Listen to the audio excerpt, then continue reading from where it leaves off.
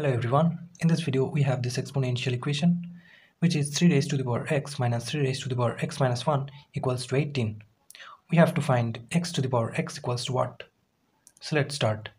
So we are given with 3 raised to the power x minus 3 raised to the power x minus 1 equals to 18.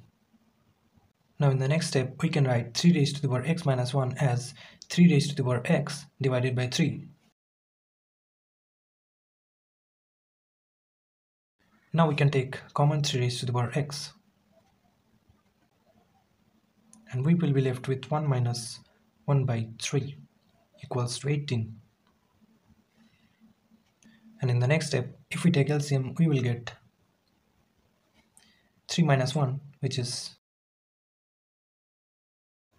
equals to 18 in the next step we can write 3 raised to the power x times 2 by 3 equals to 18. Now if we divide 18 by 2 we will get 9 and this 3 will be multiplied with 9 which is and we will get 3 times 9 is 27 and 27 can be written as 3 cube.